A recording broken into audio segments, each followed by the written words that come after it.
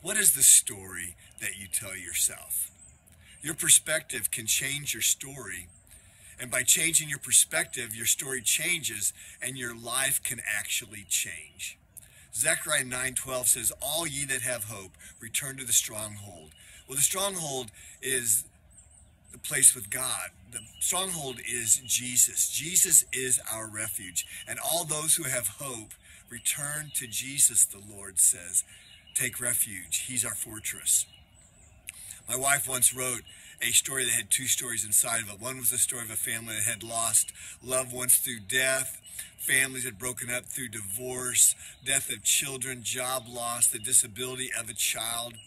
I thought, well, that's our family. Then I read another story about the same family, our family, that in spite of war deaths and divorce, multiple divorces and sadnesses, and the disability of the child and uh, job loss, still had hope and was still enjoying life and still enjoying each other and still looking forward to the future.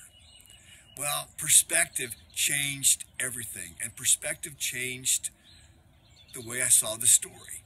Our perspective can change the story we tell ourselves. And the story we tell ourselves will determine the outcome of our lives. Consider your perspective. It'll change your story, change your life.